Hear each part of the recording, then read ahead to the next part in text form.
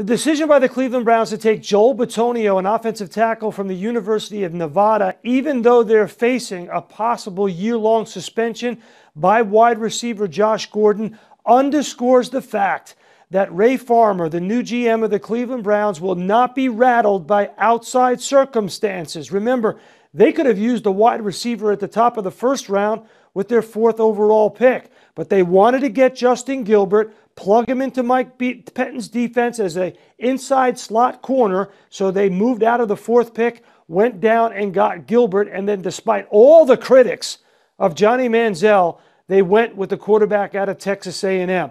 So Ray Farmer and Mike Pettine, they have a plan. They're going to stick to their plan.